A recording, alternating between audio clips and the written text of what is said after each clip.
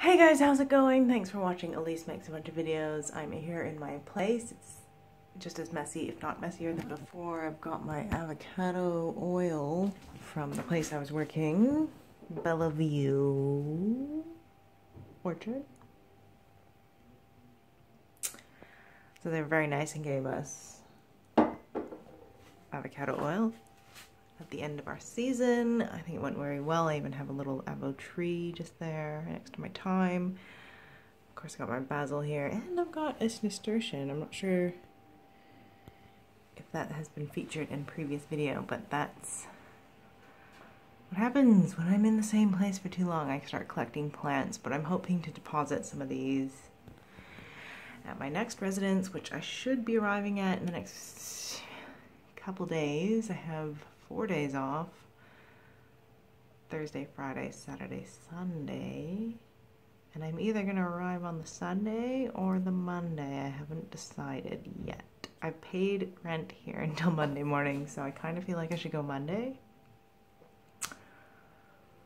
Then I also kind of want to leave. And I already told them it would be Sunday, so I'll decide tomorrow what is going on with that. Um, most likely I'll just, I don't know, it depends on the weather. Anyway, um, gonna make a list of stuff to do to get everything ready to go, start packing, make sure I've got everything in order, but also I'm gonna try and maybe get out and maybe do some snorkeling or fishing or something. It's not just hanging out here, but I think it's gonna be raining the next few days. So, yeah. Anyway, um, I'm about to make some guacamole. I've got a lot of avocados, as you can see there. There's more under here. And then there's these ones. These are all ripe. This one is a pollinator. It is different from the others. It's like more round, the seed inside is bigger, and the skin is thinner doesn't bruise as much and it's actually creamier. But it tastes the same, but um,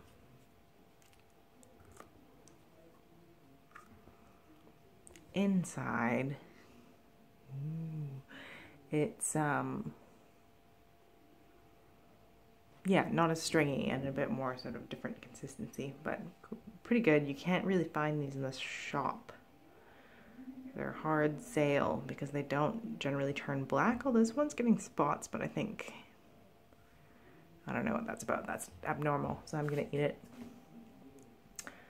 But um, yeah, that's the update. I hope you're doing well. I will try and get a tour of the new place once I moved into there and then maybe a few little videos here and there, but mm, I'm just gonna try and take it easy in my days off and just chill, so might not post. I don't really know. I don't really have plans. I don't know what's going on, but I hope you're doing well. I'll catch you next time. Peace.